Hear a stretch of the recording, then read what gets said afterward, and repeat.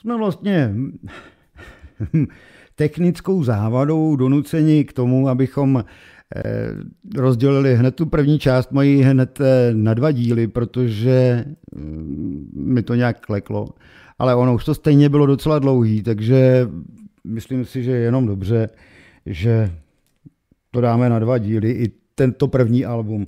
Skončili jsme tady u těch Preferred Steel, eh, že jsou to kovové kartičky, ale ta základní je vlastně eh, normální kartička, pak jsou dvě kovový, stříbrná a zlatá. Potom se dostáváme tady k těm, eh, v té době to bylo moc hezký, jakože jsou 3D ty kartičky, já nevím, jestli to je vidět takhle na tu, na tu kameru, asi jo, že vidíte, když s tím pohnete, tak je tam vidět pohyb toho hráče nějaký. To byla docela velká móda a nám všem se to tenkrát líbilo. No a toto jsou ty eh, metalky, které jsou mezi sběrateli hrozně oblíbený a hlavně ty inzerty se prodávají za ranec dneska. Eh, hrací karty, hm, tak máte v té sérii, když máte kanastovky, tak máte dva ty kluky, tak je tady mám taky. Tady se mi asi povedlo víc se sbírat těch eh, paralelek, že máte nějakou základní, potom je nějaká ring, potom je nějaká silver, artist proof a tady u těchto pinejklů toho bylo fakt moc, že jsou tady čtyři a mám pocit, že je nemám ještě kompletní, což je fakt, fakt divný. Jo. A, a tím mě docela... Tenkrát to bylo pro ty sběratele jako taková rarita, jo? jakože zháněli ty že chtějí mít i tu další a kde to vlastně vyšlo a kde to můžou najít, jenomže pak se s tím roztrhl pytel a vlastně u každé série máte teďka spoustu nějakých těch eh, v uvozovkách raritních a číslovaných. Eh, Flary hokej, tohle to byl tuším McDonald, u McDonalda jste Post, eh, Post, tak to je Post, já jsem si myslel, že to je McDonald. No, tak McDonald bude možná tohle, to byla velká paráda. Tady ty diapozitivy strčený do těch, eh, toto jsou Game SP. Takže v SPčkách to bylo, a pak to bylo tuším v těch McDonaldech. A jsou tam prostě nějaký akce toho eh, Thea Flaryho. Potom tady máme jo, takovou plastovou průhlednou kartičku, kde když si dáme tu práci, tak nejenom, že ho uvidíme tady, ale tady taky je něco vidět, ale Jo, z druhé strany je to vidět a, a ještě navíc je vyříznutá dajkat. Zajímavý, zajímavý karty vycházely a výrobci se předháněli v tom, kdo udělá zajímavější kartu. No tak eh, tohle to, že jo, je zase velká paráda. Tenkrát jsme na to koukali, zase se můžete podívat, že to je 3D mm, nebo jak to nazvat, že to má hloubku, jakoby Eh, tak 3D, 3D, ale zase jiným způsobem, než byla ta předchozí. A červená, zlatá verze možná byla ještě nějaká, nevím. Uh, toto jsou co? Skorky, skorka, um, skorka insert, no a Select Certified. A teď zase několik verzí. Červená, tady nevím, jestli byla nějaká jiná, mám pocit, že jo. A už taky byly některý limitovaný, číslovaný, ale nechce se mi to hledat. no, eh, samity zase normální, lesklá, lesklá s nějakým něčím, lesklá zase, mm, zase s nějakým něčím, jo. To je prostě děje Stop Shelf, Theoren Flary a teďka nevím, Ultra flírky, tak tam těch verzí bylo několik. Já mám modrou a normální fle- verzi, ale myslím, že tam mi chybí ještě červená nebo nějaká taková. A toto jsou, tuším, to jsou normální aprdeky. No a teď se dostáváme k tomuhle. K tomu jsem se chtěl dostat. Tohle to je první Game Jersey karta na světě. Eh, teď tím nemyslím jenom toho Thea Flaryho, ale vůbec tahle série. Jsou to aprdeky 95, 96 nebo 96, 97. Myslím si, že 96, 97. Poprvé firma Aprdek, je to napadlo, že teda vystřihnou kousek toho dresu a dají, do té, dají ho do té karty. A tohle je ta první série, kde se objevily ty Game Jersey vůbec a nejenom Game Jersey, ale Game Stick, Game Puck, a nevím, Game Glove, já nevím, rukavice, že jo. A je otázka jenom času, kdy se objeví Game Suspensor. Byly fakt jakože vzácný, protože jste je našli, já nevím, nevím, třeba jedna ku dvou tisícím balíčků. No a dneska díval jsem se, za kolik se prodávají, když jsem se díval zhruba před půl rokem, když jsem si dával dokupy tady tohle album, také kolem 15 tisíc korun. Dneska jsem se díval znovu a na poslední se prodala asi za 2,5 tisíce korun.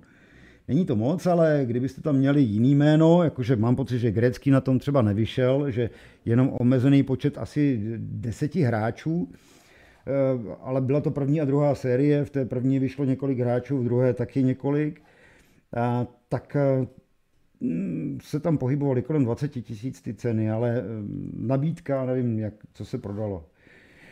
No, pak zase další paralelky, to, toto je jakože quarterfinals, tedy čtvrtfinále, quarterfinals, tak to je stejný, semifinále a finále mi chybí.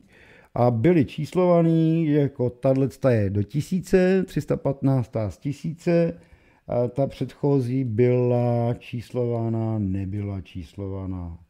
Jo, tady jako je napsáno jedna z pěti tisíc. Ale ty z těch tisíc už byly číslovaný a ty další tuším byly ze sta a ta stovka bohužel není.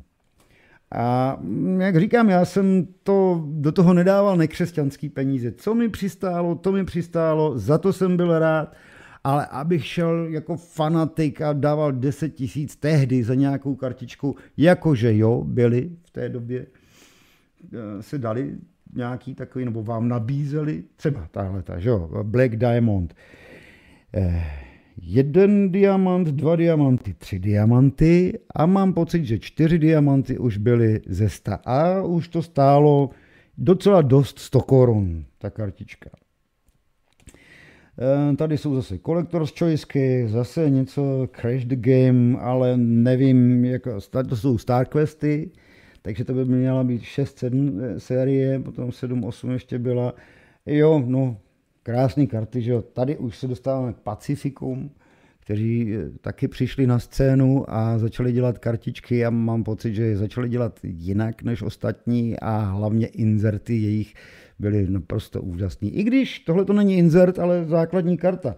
Pacific Crown Royal. Legendární série. Dnes už, myslím. Toto jsou ty moje oblíbené donrusky, které jsem i prodal v obchodě že základní stříbrná pressproof a zlatá pressproof, ta eh, zlatá je tuším z 500 a eh, stříbrná je z tisíce. Ale nejsou jednotlivě číslovaný, takže Donrus takový OFS. Eh, to je podobný, je to tady s tou, tady s tou Canadian Ice Donruss, taky mám stříbrnou a červenou nějaký, taky jsou číslovaný stříbrná ze 750, ze 750, červená ze 150. To už jako je, no potom tyhle ty, ty jsou taky, jakože fakt dobrý, to jsou Donrus Elite. A zlatá by měla být ze 100, nepletuli se, jo, jo, 88 ze 100. Takže tady už se mi podařilo některé ty paralelky poskládat. Co tohle bylo? Limited, to je, mm, která firma? Leaf Limit, ne, teďka nevím, nebo Donruss Limit, ne, Leaf, Leaf Limit, tady je Elko, jo, vidíte, že tady je několik jich a z druhé strany bude možná jiný hráč, jo, je tam jiný hráč, ale tady ta je taková stříbrná, ta je taková tmavá a zase tady ty najít ty rozdíly mezi, mezi těma kartama je docela problém, protože takhle, když je dáte vedle sebe, tak je v podstatě nerozeznáte, vypadají stejně úplně, ale ze zadu už zase to je jinak. Tady taky um, lívky základní a nějaká zlatá, mrknu si, jestli je číslovaná, není číslovaná. No a toto je, to jsou ty McDonaldy, o kterých jsem mluvil, zase diapozitivy dva, pěkný. Uh, no, A teď se dostáváme k těm Pacifikům. Jo, toto jsou Pacifik, jo, asi Pacifiky. Takže normální, já teď nevím, jestli tahle je stříbrná, modrá, kopr, tedy taková jako měděná. To stejný pak bylo mezi těma Invincible, ty byly taky zajímavý, že zase byly trošku jiný. Jak říkám, ty, ty Pacifiky to prostě dělali trošku jinak. Že máte toho hráče a tady to okýnko s tím hráčem. No a zase tam byly, toto je, myslím, Emerald Ice, e, tahle ta paralelka, ale myslím taky, že mi tam něco chybí. Jo, zase Pacific, Dynagon, takže základní, pak nějaká, tady nějaká Emerald, tady zase nějaká stříbrná, tady zase nevím, jo, to, to prostě bylo hrozný. Tady, tady dole, jo, tady byla základní, tady Blue Eyes, jasný, nebyly číslovaný, ale těch paralelek tam bylo, bylo mraky. To stejný jako u Omek, Tady mám eh, zase tu kopr, tedy bronzovou nebo měděnou, tady emerald. Eh, to už mě docela unavuje, tady ty paralelky. Zase Pacific Paramount, základní, emerald, ne, kopr, emerald, ice blue. A tam se ty ceny násobily, že jo, všelijak. Hm, no a tady Totally Certified, jako to, to v tom, aby se taky prase vyznalo. Jo? Ale tak tady je to dobrý, že tady je eh, 3099 limitace, tahle je bez limitace, tady je limitace 6199. Tady jedna of 299, ale ta si myslím, že ani v, play, v, tom, v tom checklistu nebyla, že to bude nějaká speciální z nějaké burzy, z nějakého expa nebo co. No, pak tady máme uh, už takový ty dajkaty, který já jsem i sbíral, nechce se mi moc vytahovat ho, ale vytáhnu. Tak takovýhle dajkat uh, kartičky já jsem sbíral, že na tom byl třeba i Jardajager nebo Grecky a, a, a tohle to mám rád, tady tyhle ty inzerty. No a teď musím opatrně, abych ji neponičil, protože to se stane u těchto z těch dajkatů úplně velmi jednoduše. No, budeme na konci. Eh, no, tohle to byla výjimečná série, opravdu to nám lezli oči z důlku, jsme si říkali, týho, co to je? A ono je to SPX nebo SP. Myslím si, že SPX to byly. A zase spousta těch paralelek. Tady v ruce držím tu bronzovou, je tady nějaká stříbrná, pak stříbrná s čím si, já fakt už dneska netuším, musel bych se na to podívat zblízka. Tady je Donruss Studio, tady mám asi dvě normální a tahle ta je nějaká press proof, jo, tady je to dokonce i napsáno, promiňte, teď vám to neukázal, press proof je tady napsáno a nevím, jestli bude číslovaná hmm, jedna of tisíc. No, dostáváme se tady k, k, k, k, k, k, jaká je to série, nebo sezóna, tohle byla, jo, tak tohle už byla 97-98 série. A co máme tady, jo, tak tady máme zase Theo Flair Be a Player, tuším je to, že jo, eh, jo, Be a Player, normální, normální podepsaná, zlatá a ještě by měla být zlatá podepsaná, tu nemám. No a tady tyhle ty to byly doby, kdy se mě ty Black Diamondy ještě líbily. A tady to bylo jasný, že jako jeden diamant, tady jsou, je to červený, dva diamanty a ta už byla číslovaná, nebo ne? Jo, jo, 1291 lomeno 2000. Tři diamanty, ty už byly, já nevím, z tisícovky, nebo z pětistovky a čtyři diamanty byly ze sta. No a roz, rozloučíme se tady s Crown Royal a ve verzi, toto je LS, je co Limited Series, series. Mm, moment, podívám se. Mm, jo, Limited Series, takže bude číslovaná někde. Jo, 38 z 99. No a tohle to ti Pacifici pak už dělali u všech karet, že bylo first day issue jako první den vydání limited, modrá, já nevím, a zase prostě spousta těch limitací, ale všechny byly číslovaný. A to bych těm mm, Pacifikum zrovna nedával jako za, mm, za plus, ale spíš za mínus. Podívám se, jestli tady tohle, ne, ne, ne. To jsou obě stejný a tam je jedna ze 400, teď nevím, jak se jmenuje, ale bohužel já mám jenom dvě ty, dvě ty základní. Takže to bylo první moje album rozděleno na dvě části, protože jsem v té první části měl menší technický problém, takže jsem to schválně rozdělil na dvě části, ale ono by to bylo stejně dlouhý. Takže co k tomu říct? Ty kartičky jste viděli sami, no potom se dostaneme k tomu roku vlastně 2000 už a tam vycházely ty karty fakt pod tlakem a nejenom, že tam vycházely ty paralelky všelijaký, ale i Game Jersey a Game Puck a, a Game Stick, takže tam už uvidíte i takové jako karty v vozovkách hezčí, které se dneska nosí. Ale já tohle to je prostě paráda. Za mě. A vemte si, že máte dvě alba, můžete mít i víc alb eh, tady takovýhle hráče, takže když je začínáte sbírat, soustředil bych se na jednoho hráče.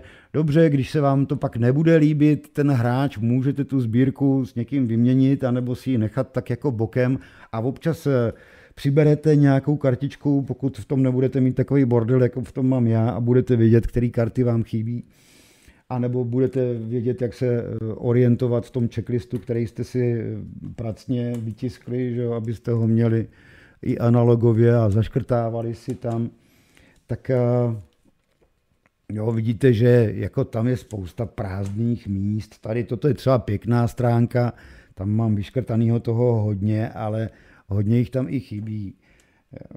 Jo, tak říkám, on jich má asi 1700 těch karet a já mám necelou tisícovku, ale tady ze začátku 96, 97, Zenit Artist Proof 55 mi třeba chybí. chybí. Jo, Beehive, Golden Portraits, Beehive to byly takové veliké karty, A5, tuším, a takový portréty na tom byly těch hráčů. Takže jo, chybí mi toho spousta, ale znovu, tak jo, když chcete začínat s tím, doporučuji něco takového.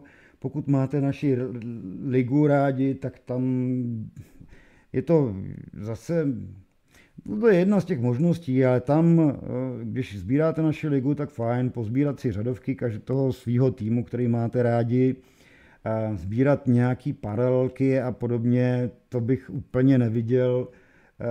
To je strašlivý, protože těch paralelek je strašná spousta a vy nebudete nikdy spokojeni, protože nebudete mít třeba tu poslední, která vám chybí, ale to je jenom jedna jednička a u nějakého mm, prostě řadového hráče. A to nemluvím tady o Theo Férim, tam sehnat třeba nějakou kartu, jako mám třeba tady na začátku, která by byla jedna z deseti, ale pozor, eh, tady z těch let eh, do roku třeba 2005, protože tohle je která sezóna, to se mrknu 2-3, sezóna 2-3 a je to jedna z deseti, tak eh, sehnat takovouhle kartičku v té době, to stálo docela dost peněz. Ale dneska už takovýchhle limitek je taková spousta, že dnes už za ně takový peníze nedáte. Jo, pokud je třeba podepsaná nebo podepsaná nějaká memorabilie, ještě líp, to se všechno násobí potom ty ceny, tak je to fajn. Ale máte toho jednoho hráče a jednou za rok si uděláte radost třeba a koupíte si nějakou drahou kartičku od něj. Jinak si sbíráte ty řadovečky, um, já se dovedu představit, když máte rádi třeba český hráče, tak toho Davida Krejčího, který teď bude hrát v Olomouci, podle mě nejlepší hráč náš v NHL za posledních několik let, tak eh, to by třeba bylo zajímavý sbíráníčko, protože nebyl ta super hvězda, tak těch karet nemá tolik a nemusel by to být takový problém ho pozbírat celýho. Um, z těch eh, hvězd doby tehdejší, tak kdybyste nezbírali uh, Vejna Greckýho, ale místo toho třeba Joffa Kortnala asi ne, to ne, ale třeba plácnu Joe Sekik. To by mohlo být taky příjemný sbírání. Nebo když jsme u Calgary, tak eh, Jerome Iginla. Eh, zajímavý příběh taky, protože to byl vlastně první Indian, který hrál NHL. No ale u, u Tea Fleryho, to si asi řekneme, až udělám tu druhou sérii, nebo to druhý album, ale to mě ještě chvíli potrvá, dejte mi tak půl roku, než já se k tomu zase dostanu. Ale jo, mohl bych zmínit to, že on bojoval s těmi svými mm, děsy a s těmi démony, alkohol, drogy, bytkař to byl, byl popudlivý, známá je historka, jak se popral někde se Stewardem v letadle, byl ožralý, hrál si na super hvězdu, eh, byl hrozný, šel z večírku, třeba ožralej, celý, celý večírek propařil a potom šel hrát přímo na led zápas. Eh, jo, byly to takový s ním štrapáce, jen čtyřikrát na odvykačce, vždycky nedokončil tu odvykačku, dostal se do čtvrtého nějakého levelu a pak ho vyhodili.